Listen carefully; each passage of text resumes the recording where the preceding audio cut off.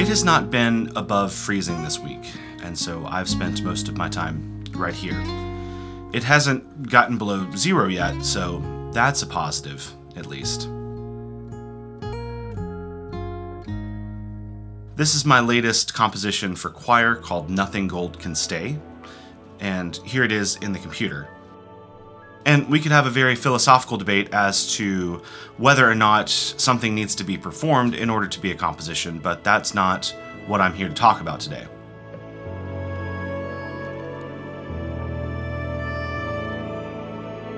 I have been messing around with my composition workflow here recently, uh, mostly just to help me think through every step of the process. And in the midst of that, I have been thinking a lot about this debate that goes around the composition community, which is is it better to compose with paper or computer?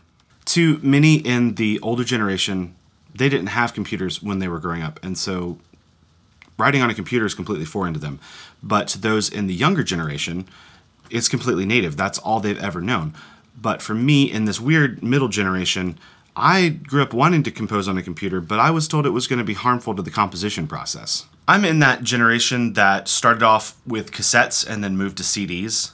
And you know from a previous video that I still use my second generation iPod. The institutions where music is taught have a propensity towards paper, being that many of the professors in these institutions got their start before widespread use of technology. And so they have spent the majority, if not their entire careers, on paper. So today, let's talk about the use of technology in composition. And as you might can imagine, both systems have their pros and cons. Hi there.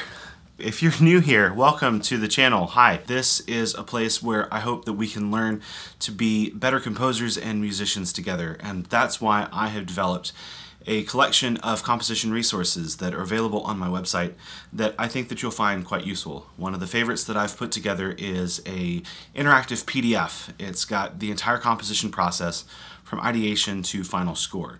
It's got additional resources linked in it, 16 of them I think, and that is down in the description below. So yeah, make sure to check that out. Let's get back to it. Here's the thing. This pen is a technology and a piano is technology, and if you play Settlers of Catan, you know that paper is a technology. Our brains are the only thing in the composition process that wasn't invented at some point.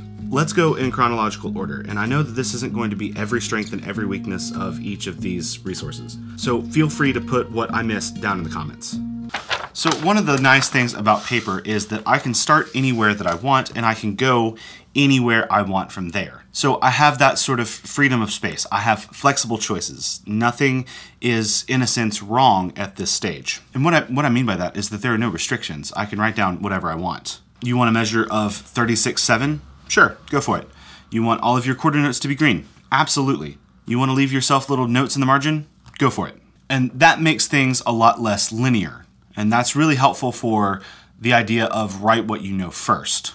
I don't have to start with measure one over here. I can go anywhere in the piece that I want to at any time. Paper is also really good at abstract thought. I can write down uh, a rhythm with no pitches. I can write down just a gesture, a shape.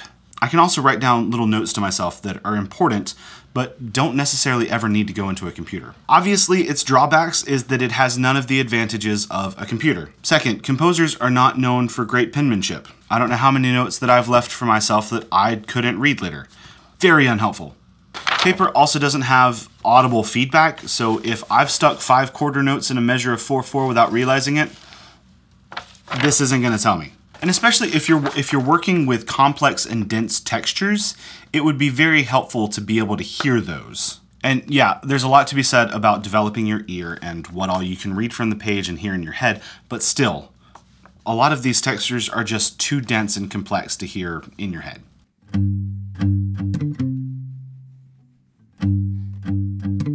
So the pros of composing with a piano is that it gives you a very wide harmonic range. You can put your fingers on it, and that's another thing. It's kinesthetic. I should have mentioned this earlier when we were talking about pen, but I just I really like the feel of being able to write something down. So the piano, in a similar manner, is also very kinesthetic. Something that can be a pro or a con about composing on piano. If you're writing on the piano for the piano, this can really help you figure out whether or not something is playable, whether or not you can put your fingers there and physically play it. And that's a good thing. But if you're writing on piano for something that's not a piano, you can end up playing something that seems really easy for piano, but is either really difficult or entirely impossible on another instrument, which is less than positive. Which leads me to the biggest con for the piano, which is that it leads you to writing piano specific sounds slash idioms. And that's why these things are nice because you can patch in any other instrument or any other sample library you want, but I'm getting ahead of myself. We'll talk about this in a second. The piano is ultimately a string instrument. You hit a key, which is attached to a hammer, which strikes a string, which then vibrates, and strings, by their very nature, decay rather quickly, even if you have the sustain pedal down. And this might lead you to compensate by filling what you perceive to be empty space. But if it's going to be played by something like a clarinet, a violin, these can sustain their sound a lot better than a piano, and they don't need that sort of compensation. The advantages of writing on software are that I can quickly cycle through a whole bunch of different things and I can experiment with a couple of different options in rapid succession and see which one I like the best. I can quickly try different orchestrations. I can lay down one track and then another, which is something that you can't do on a piano. I get immediate feedback, and depending on the quality of your sample library, I can get a better representation for all of the instruments. These can make really good mockups for clients or competitions or even SoundCloud. And for a lot of us that don't have access, this can be the best way for us to experiment and get better at writing for orchestra. The drawbacks, there are a lot of them. How often have you just hit play and you listen back through what you did last time and then you're like, I don't know where to go from there. And so you just keep listening back to it and you're like, ah, oh, yes, I'm getting things done. But you're really not. There are a lot of decisions that are made for you by default. If you open up any of your softwares, it probably defaults to something like C major in 4-4 at probably 120 beats a minute. If you have an idea, it's easy to override that, but if you don't, you might just go with it. One of my biggest problems with this is that it forces you to work linearly from measure one, and then you need to know every measure from left to right. And that's hardly ever the case. If I'm working on a sketch, I might not know how long I want that passage to be, how many measures it's going to be, or even where in the piece it's going to go. And then we get into the specific drawbacks of using notation software.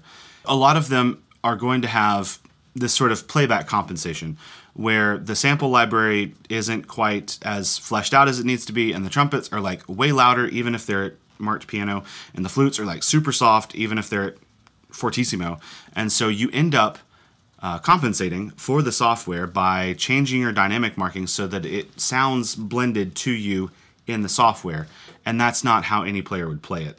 And to that point, the software has no regard for human limitations. You can punch in notes that instruments just don't have. You can punch in chords for pianos that would be impossible for human fingers to get to. And of course, I think the biggest problem is that we forget because the the sample library has no lungs that we forget that humans need to breathe. This is especially bad when we're writing for choirs. And I feel like the developers must have assumed that we wouldn't start with the notation software. I think they must have all assumed that we would start on paper and then engrave it once we were done.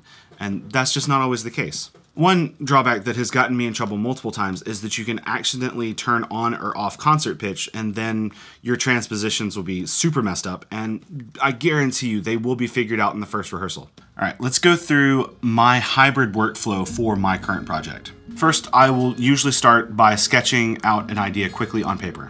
I often work in like nebulous sort of shapes before I really know what it is that a gesture is going to sound like, and I definitely don't know any of the details yet. And then I can punch it into a recording software to hear it and then make decisions based on that, how to proceed based on the feedback that I get from the, the software. And from there, I can cycle through tempo options really quickly. Do I want it 71 beats per minute? Do I want it 72 beats per minute? Do I want it 68.5 beats per minute? No, I don't. So then I'll kind of constantly go back and forth between my different tools, whichever is going to be the most effective use uh, for what I'm trying to do. And I like to go back to paper for editing.